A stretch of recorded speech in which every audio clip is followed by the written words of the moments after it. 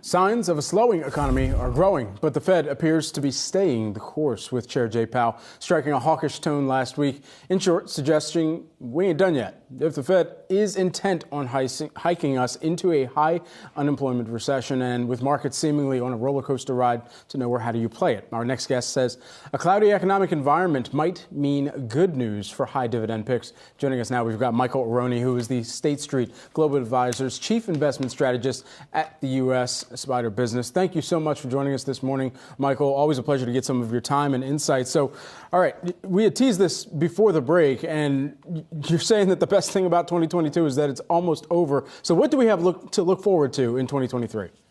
So I have some good news for you. So it's been well reported that the traditional 60-40 portfolio is on pace to have one of its worst years since 1937 in 85 years.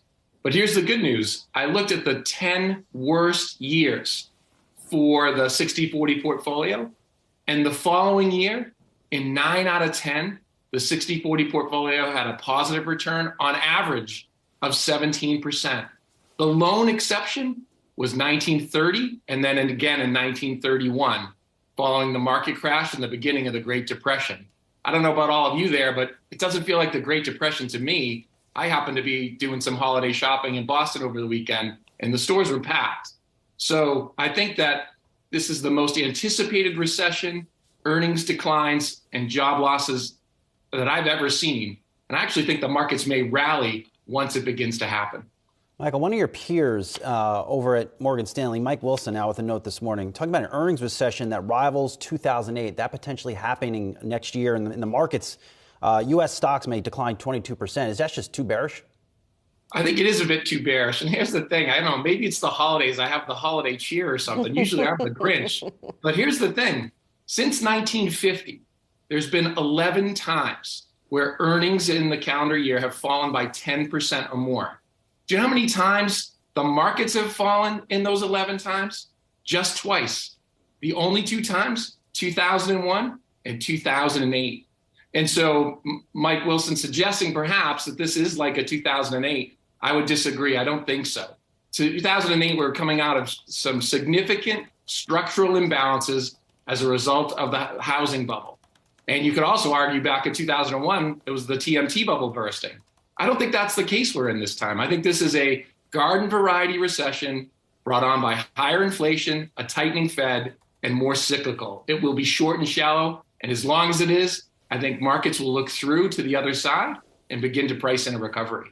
Um, the other thing, though, that those two eras had in common, if I'm not mistaken, is something else that you just mentioned. That's the tightening cycle, right? So, isn't that something that also typically causes stocks to fall? I guess you just don't think that they'll keep going. So I think what I think that's right. I think one of the risks is, in fact, if the Fed does break something or goes too far. And I think part of the volatility that we continue to see is that the market keeps having to readjust to where the Fed is headed. But I'm actually optimistic that the Fed will begin to end its tightening cycle in the first quarter. So I think they'll raise rates again in February, possibly on March 22nd, and then I think they'll be done. And when they're done, I think markets will breathe a big sigh of relief. Analysts are still looking in aggregate for an expected 5.5% growth rate in earnings. Do you think that's too high? It is too high. It's going to come down. Uh, as I said, I think on average, the, during a recession and a bear market, those earnings kind of typically come down about 14% or so. I would expect that to be the case here. But here again, I would underscore this idea that, you know, since 1950, 11 times this has happened, only twice has the market declined everybody, investors are expecting the earnings to fall. We're expecting a recession. We're expecting a tick up in unemployment. I believe when it does, in fact, happen, markets will begin to expect that monetary policy will get easier.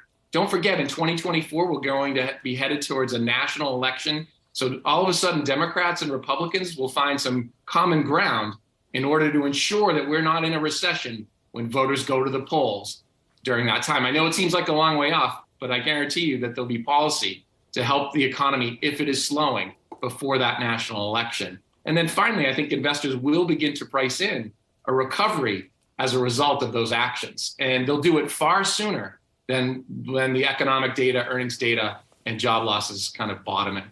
So, given all that, Michael, is it too early to say go cyclical when it comes to stock investments? So, one of our big themes for next year is to play offense and defense with dividend payers, Julie. And I think that's key here. So, I recognize the limitations to my forecasting ability. So, should I be wrong, I do expect that in a year like this, when volatility is high and markets are down, dividend payers and growers are outperforming the market pretty considerably.